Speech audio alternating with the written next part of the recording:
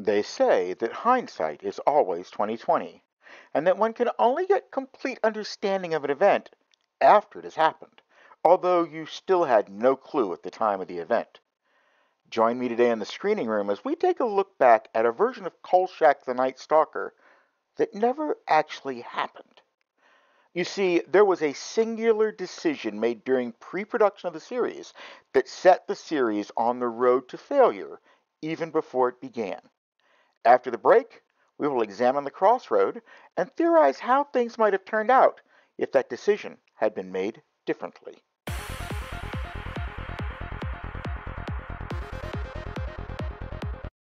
If you're anything like me, you've probably heard something like the following story.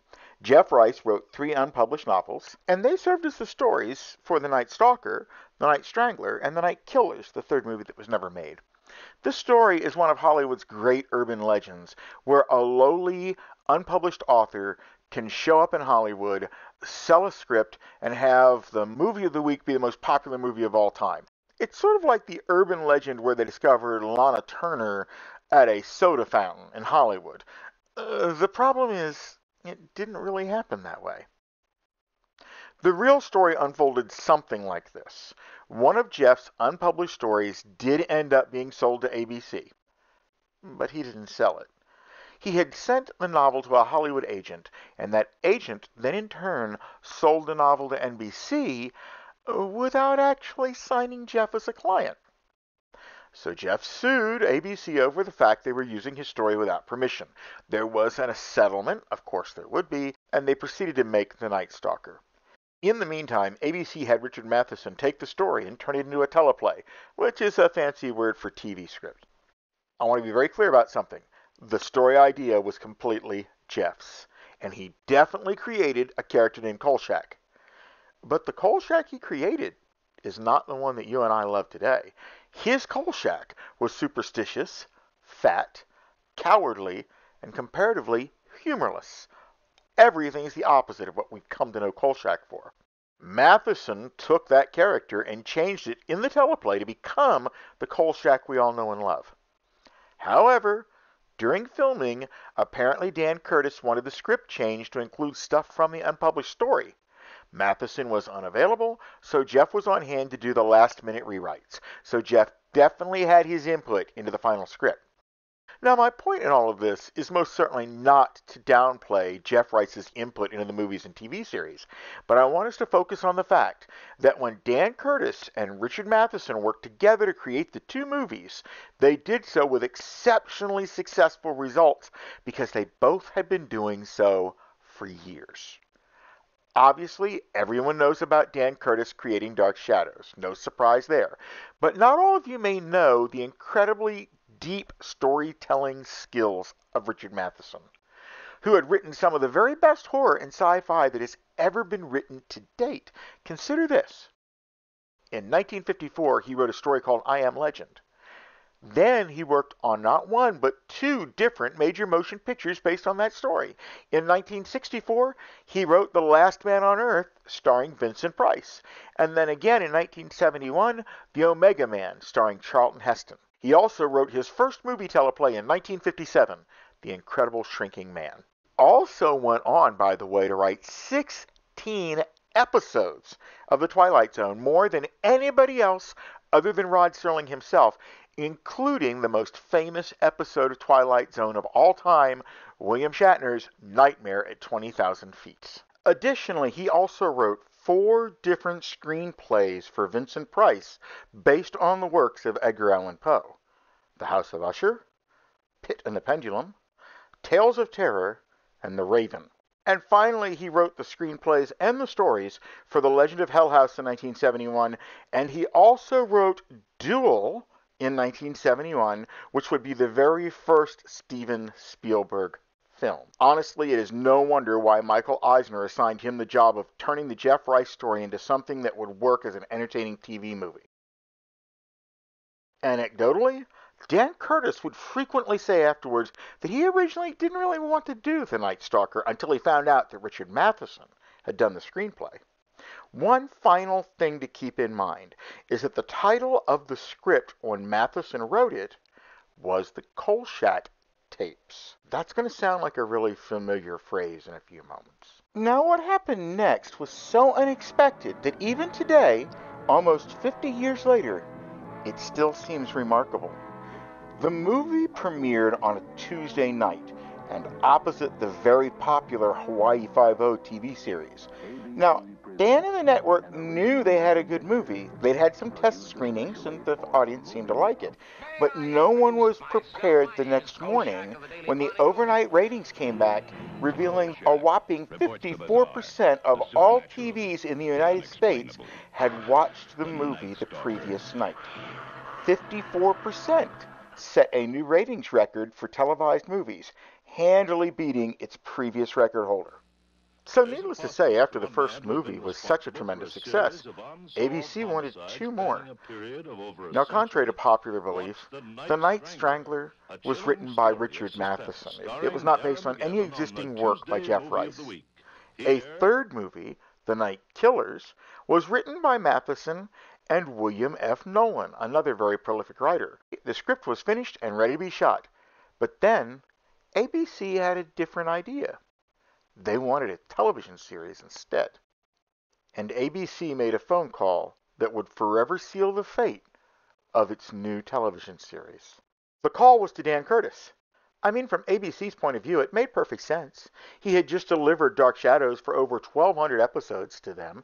He had produced both movies, directed one, was involved in writing the screenplays for both. He had the connections to Richard Matheson and William Nolan. He had everything they needed to run the show. It was a match made in heaven. The problem was, he told them he didn't want the job. So they just lost the producer and the director of the first two movies. His connections with the writers that gave them the scripts. If this show had been a boat, it would have been taking on water fast by this point. So ABC turned to the only remaining person in the entire lot that had any familiarity with the first two movies, and that would be Darren McGavin. So they told him he could be executive producer as well as lead actor. He was quite happy with that. He really was looking forward to getting executive producing credits to go on his resume. Now, that boat we were talking about, it's now been identified as the Titanic, and ice has been spotted on the horizon. Darren McGavin ran with it for 20 episodes before he got so frustrated with putting in the time as story editor and executive producer and never getting the credit they promised him, nor any of the money for those roles. He just said, I'm done.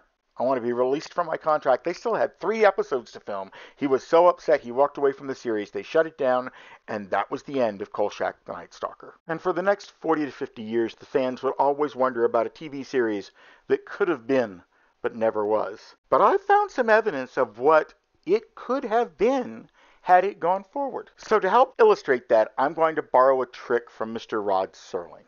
And we're going to go back and take a look at what could have happened if Dan Curtis had agreed to be the showrunner for the series. You are traveling through another dimension, a dimension not only of sight and sound, but of mind.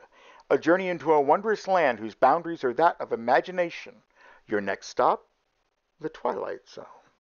Presented for your entertainment. Exhibit A. The sum content of Season 1 of Kolchak, the Night Stalker frozen precariously in time between what exists and what never did. Now we'll take a look at the potential for season two, compiled from 23 stories in 18 movies that were done by Dan Curtis and Richard Matheson over the next two years, and that alone provides us with stories that very well could have been Kolchak episodes. So let's take a look.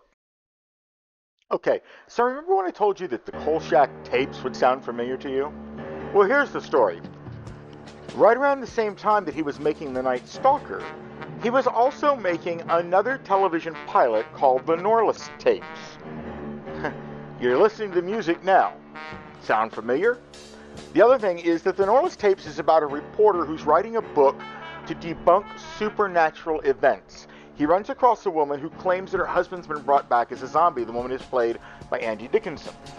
He then disappears, leaving only the recorded tapes that he made as a clue to what happened to him. Very, very similar to the tape recorder that Kolchak used in the original Night Stalker. You'll also notice that Claude Akins even plays a sheriff in this movie, the same sheriff role he played in the Night Stalker movie. while he said he didn't want to do a TV series. He tried to sell the Norliss tapes to NBC as a TV series at the exact same time. So obviously he had it in him to do another TV series, but I think he was really banking on the fact that he could take the Norliss tapes further than he could take Kolchak, and he wouldn't have to share the create credit with Jeff Rice. This movie is available on the web. I'm sure you can even find it here on YouTube.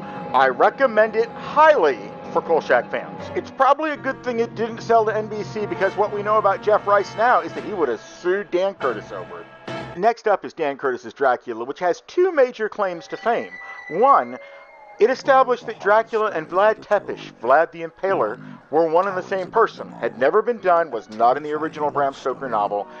Dan Curtis created that, and since then, every Dracula version, including Kevin Bronick's Dracula, have done the same thing. And the second thing it introduced is that it was a reincarnation of his lost love that became a key story point of the movie. This was borrowed directly from the Barnabas Collins, Josette Collins storyline from Dark Shadows, but also has become a staple for vampire movies. Now, the next thing we're going to take a look at is Trilogy of Terror. This was a movie that contained three stories that was introduced in 1975 that was guaranteed 100% to scare the living crap out of you. Most people became aware for the very first time of what a Zuni doll looked like and just about all of us that watched it ended up having nightmares. Karen Black played a role in all three short stories. She was absolutely exquisite Although she became heavily typecast in her later years in her life, she admitted that it pretty much trapped her in horror, and that's not where she wanted to be. Please note this is only one of two times in history that a movie of the week contained a parental advisory disclaimer. Consider this with only a wooden puppet, Dan Curtis could terrorize an entire generation.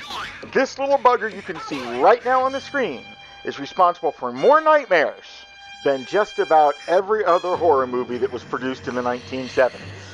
Trust me, he's going to be your dreams tonight. You're welcome.